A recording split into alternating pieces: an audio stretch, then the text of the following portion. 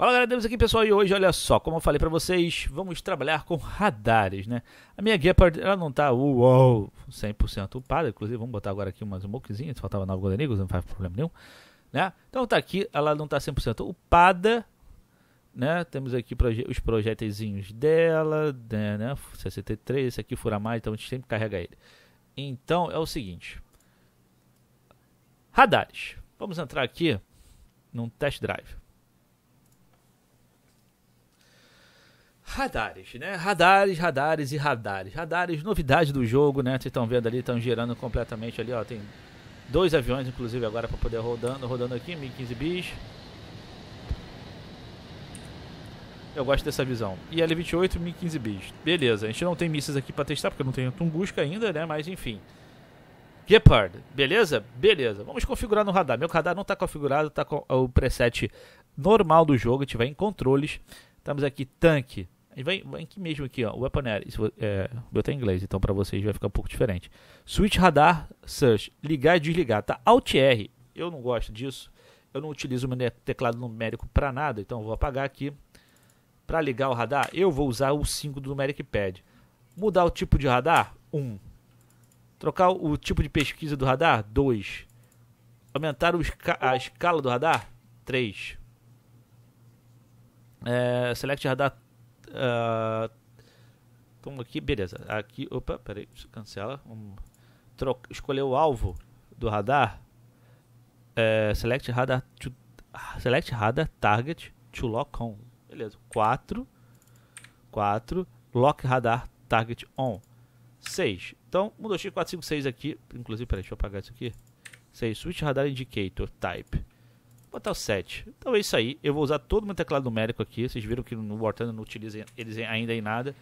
Então, uh, vamos botar aqui, ó. 1, 2, 3. Ó, o 3 é aquela coisa, o alcance do radar. Se você olhar na tela ali onde está o radarzinho, 90 graus, está 10 a 15 km. Então, a 15 km eles ficam mais próximos de mim, porque o radar está pegando 15 km ao, ao, à minha volta, literalmente. E é isso. Ele perdeu o lock, perdeu o lock. Ele tem, ele, ele identifica, mas ele perde o lock. Ele identifica, inclusive.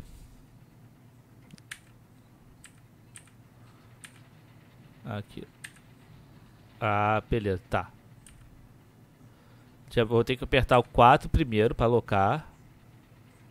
Tá vendo ali? O radar tá pegando aquele cara ali. Aperta Aperta 6. Aí, pronto. Locou. Tá locado. E tá com o lead do radar. Lead do radar tá aqui. Tá.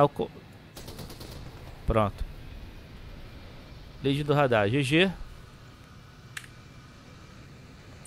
Tem que virar o radar à frente, né? Vocês podem ver aqui no, no, no, coisa, tem uns 180 graus ali. Quase um pouco mais de 180 graus. Apesar que ele está girando em 360. Mas tem uma marcação sombreada que quando você vira a torre, ele vira junto. E quando você quer selecionar um alvo para locar, você aperta 4. Ele loca no radar e 6 ele já te joga aqui e você vai ó, do leading. Só isso.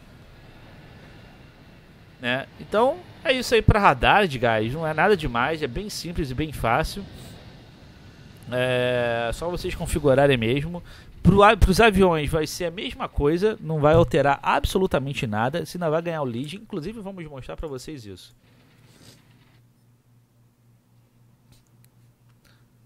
MiG-19. Deixa eu pegar o MiG-19 rapidinho. Tô meio gripado, então não reparem não. Eu dar umas tossidas aí. Rapidinho, botar o MiG-19 aqui. Dá aquele mísselzinho zoado. Mas vamos lá, test flight, rapidinho. Podia estar no ar já, né? Mas enfim, vamos embora.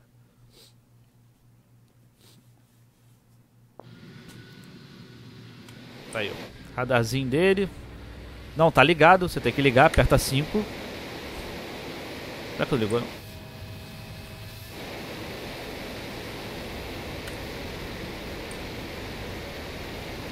Ué, por que, que não tá ligando? Ah, por que, que não tá ligando? Vou explicar pra vocês. Vocês têm que fazer a mesma coisa aqui, ó. Controles. Agora, aircraft. Mesma coisinha, mesma coisinha, tá? Mesma coisa pra tudo. Então, vem aqui. 5. Uh, Ed, dá Ed também, porque ele vai, tá, ele vai, ele vai identificar o conflito com, os seus, é, com o seu comando de tanque. Então, é como é para a mesma função, não tem problema. Pode botar Ed também, ó. Ed.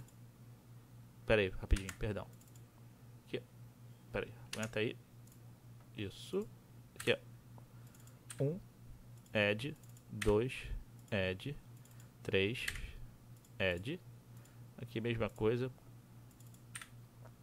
4 add 6 add 7 add. É a mesma coisa. Ele vai, por isso que ele, ele identifica essa. Ó, a radar tá ligada agora, lá. Ele identifica essa função também nos tanques ele dá esse conflito. Aí você só coloca adicionar add, dá a mesma coisa, entendeu? Porque não vai, você não tá jogando aqui de tanque, então não vai coisar. Vocês podem ver que a diferença do radar do avião é de 12 km, da antiaérea da 10 mas é só na frente do avião, obviamente, não tem uma parabólica girando, né? Na frente do do avião. Então aquela coisa, o range de identificar o alvo é grande, mas o range de lock do alvo é menor. Se eu não me engano, acho que é isso aqui, deixa eu ver, 6. É, tá vendo? Ó, vai locar, vai locar. Vai locar agora? Calma que tá entrando no range. Agora, entrou? Opa, tirar o flaps do animal. Ele não tá locando, locou. Locou com 3 km e pouco. A lead não aparece ainda, a lead apareceu. Vamos lá. Ó, só que eu saiu do... Você viu? Saiu um pouco da, da coisa. Vamos colocar de novo.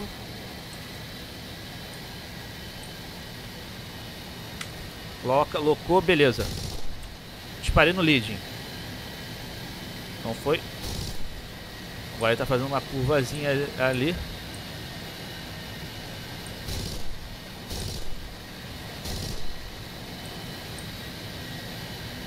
Como é um canhão de 30mm, é um pouco mais difícil. Aí agora é sucesso, né?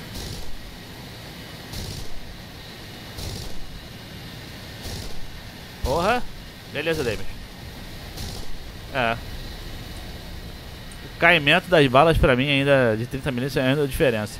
Do T2 Mitsubishi é só mirar ali, dar uma rajadinha que é rapidinho. Por quê, né? Armamento. Uma Vulcan de 20 milímetros faz toda a diferença. Mas é isso, acho que eu espero ter ajudado vocês com a configuração e entendimento melhor dos radares, tá? É isso. Muito obrigado, um grande abraço, valeu, falou e eu fui!